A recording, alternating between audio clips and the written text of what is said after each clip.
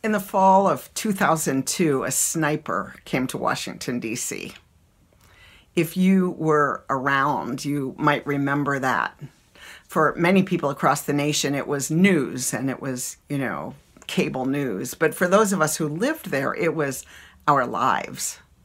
My child was in the first grade then, and the first killing took place halfway between our home and my child's school. And so every day as we drove to school, we passed a monument to the woman who had been waiting for a bus and killed there. The next killing took place miles away, but at a gas station where a good friend of mine always got her gas, a random customer getting gas. And so this pattern of random killing took over the city of Washington, D.C., and the surrounding suburbs. And all of the sports teams stopped. There were parks that were just completely empty. Kids were shuttled out of school under police escort into buses and cars. It was a hard couple of weeks.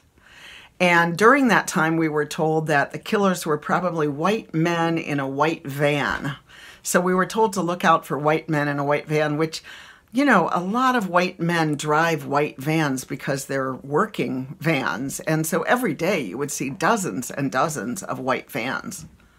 I was very fatalistic about it. I figured if we were going to get killed, we were going to get killed, and um, ended up getting a really good deal on a car uh, because no one would go to the car lot. So, you know, that it was a hard time. Eventually, during that time, the killer revealed who he was through a series of notes, so we knew his name. And a woman said, That's my ex husband, and he's doing all this to get back at me. At the time, I thought this was kind of a grandiose idea of hers. But it did turn out that he had been staking out her neighborhood quite a bit. And they never knew what he really was doing. But I have since learned how many mass shootings involve a person who is enraged at either an ex wife or girlfriend who has left. So many of the men have been in the military. That's one characteristic they share. But another is that it's tied up with some story of domestic abuse, either with a parent or a partner or former partner that they kill many, many people. And of course, we know that every day partners and children are killed. Four children every day are killed by parents or authority figures. 70% of them are under the age of three. And as we let that sink in, how could people entrusted with the most vulnerable times in someone else's life betray them so completely. We have to ask ourselves, you know, Vaclav Havel says the fault line between good and evil runs through every human heart. And I think that's true. I also think it runs through every human relationship. So I've been thinking about intimacy and evil. You know, so much of the time we talk about systemic evil and oppression, and that's all very important to talk about. But so is evil as it takes place in our most intimate relationships. I was recently in Harry Potter World in Florida, and it occurred to me while going on rides and taking the Hogwarts Express and otherwise thoroughly enjoying myself. That one of the great things about that series, all of the human beings in that are complicated. We see every form of cruelty we possibly could between family members and spouses, as well as between, you know, the Death Eaters and Voldemort and and and the upstanding, you know, people. But but we also see a lot of people we're not sure. They seemed like they were good, but now they seem bad. They seemed like they were bad, but now they seemed good. And there's a lot of complexity about the characters and who they are related to good and evil. And I think we recognize that because it's true. I think we know it first about ourselves. I wish I could say that I have never treated someone I love with disrespect or anger. I made a vow when I was a young kid. I had a dad who was angry and violent, and I made a vow to never, ever yell at my child if I had children. And as the lyrics go, though you've broken your vows a thousand times, come yet again, come, right? I wish I could say I never lost it, but I did.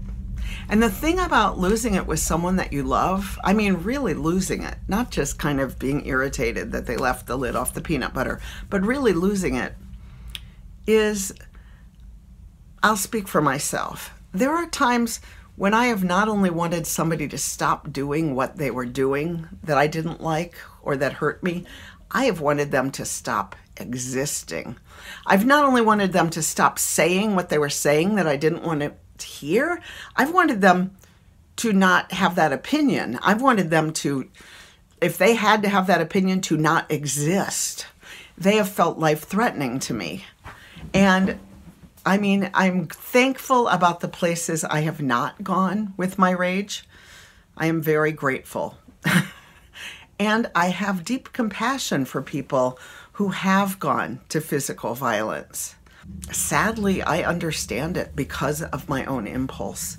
Here's what I can say as I speak honestly and with acknowledgement of how broken we all are, or most of us. If you're watching this and saying, oh my God, that's not me and that's horrible, I've never yelled at my child, I, I salute you. but I've never met you, I'll tell you that. So here's the thing first of all, compassion. To have compassion for yourself, yes, absolutely also to have compassion for the people that we hurt, right? And so to figure out how to make amends to them, understanding that we can never fully amend the hurt that we do another, but we can do our best. One of the things that was most painful for me about my father is that he was quite cruel to all of us, especially my brother, and really seemed to die without ever regretting it you know? And i thought really? You get to just die and go on and that's that? You know? But i can express regret for the harm that i've done to people that i love. So that's one thing is that we can really try to make amends do the best that we can.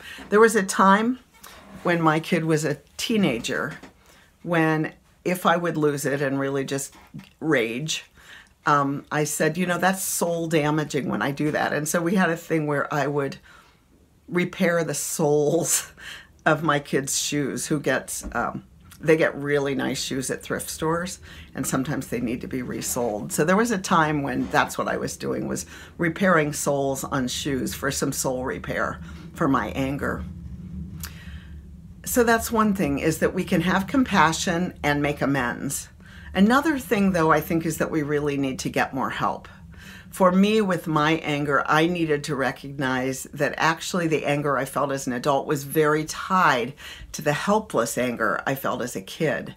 And I needed, for me, I needed a witness for that. I needed a therapist to really talk through and also to do some physical work of letting go of the trauma that came from that time so that it wasn't, you know, going to hair trigger and come back up when something felt similar to me. And so I think we really do need to get help. And I'm I'm really excited about some of the things that they're figuring out about that with, you know, with all kinds of therapies that are cognitive therapies, but also uh, body therapies and all kinds of treatment now for stored up anger and trauma. There are people who are dealing with this you know, beyond here, take this drug and you'll feel better to really help you. And I encourage you to find somebody who can help you. Um, I hope that this community also, by being a place of honesty and reality, is helpful.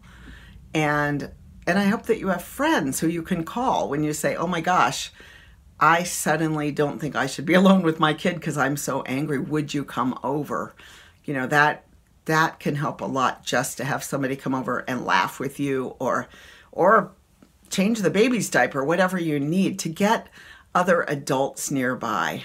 I think that isolation can breed really bad treatment of one another and and the less isolated we are the better you can also just say if there aren't people nearby you can there are many places online where you can just go say, Help, I need help, and get a little perspective.